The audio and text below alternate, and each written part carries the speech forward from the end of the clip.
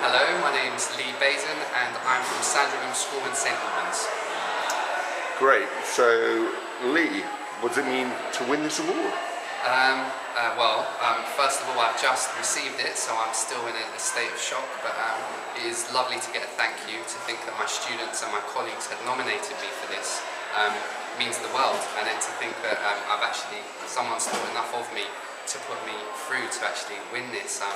There, there aren't any words that I can that I can find at the moment to sum them up. I'll, I'll think of some later.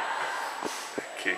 What makes an outstanding teacher is somebody that's um, willing to go into it with integrity and enthusiasm. And when I say integrity, I mean take your personality into the classroom. Um, so don't just be a Mr. or a Mrs. So-and-so. Actually, who are you?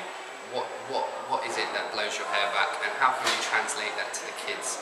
Kids know when you're insincere, so really I just try and be as sincere as possible with them and use a bit of a sense of humour along the way.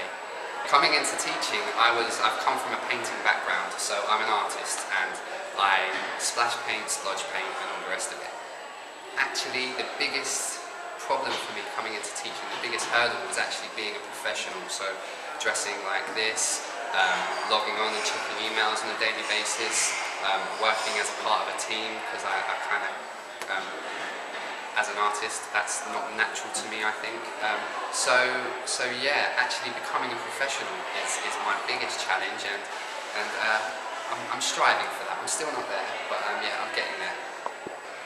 Well, uh, I see art's role in secondary education is, is it can be target driven, but I don't think it should be.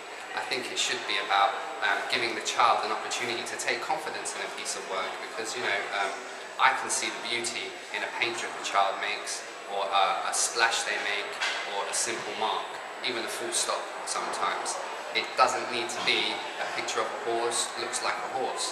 And through doing this, by finding the beauty in the everyday, by translating this to the children, it really gives them a chance to develop confidence and think, I can go out into the world and I can be an artist and I can find place in this world. Um, that's, that's how I found mine really. And, and that's really what I'm trying to do, is invigorate kids by, by showing them the wonders of art.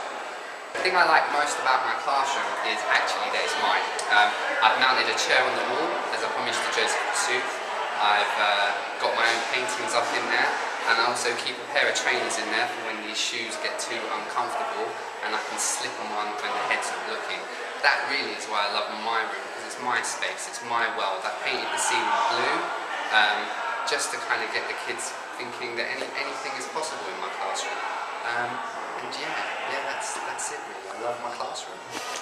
The reason I really wanted to get into uh, secondary school teaching was because it was a secondary school teacher that changed, I think, the course of my life. Um, she kind of uh, took me to the front of the class and told me that she expected better from me in art and saw that I thought that I could achieve that. And um, for someone who didn't have very much self-confidence, that meant the world. And uh, actually the, the steps and forays that I make into this, it really consolidates it all and make me feel like it's a, it's a worthy, a worthy uh, profession to dedicate myself to. And as an artist, I'm going into it as myself, and there's not many professions that I can do that as. You know, um, I am an artist teacher. Yesterday, I got the privilege to take a class trip to the Henry Moore Foundation and um, was amazed that, that just to see these kids interacting with the artworks, working with them, and at the same time kind of thinking about their relationship to nature, being outside, getting them away from the PlayStation. This for me was, was one of those moments that I had to pinch myself and be like, uh, are you guys really paying me to do this? For me, the importance of art outside of the art classroom is, its, is creativity. And Einstein himself was a genius, but he noted that he couldn't be a genius without an element of creativity, okay? And that goes for any genius. Um, even if you're a doctor, sometimes you need to think outside the box for creative solutions. Solicitors, all of these walks of life. So I don't see my subject as just making pretty pictures. I, I see it as a, a creative source, uh, problem solving that can kind of add a positivity to the world that we live in in any teachers coming into this, um, do you care about kids? Do you want to make a difference? Has someone made a difference in your life? Um, and uh, yeah, do, do it as you. You know, um, get into schools, get some experience, and and really try and get in amongst classes and make a difference to kids. Um, I haven't looked back in the past two years, so I definitely recommend it as a profession.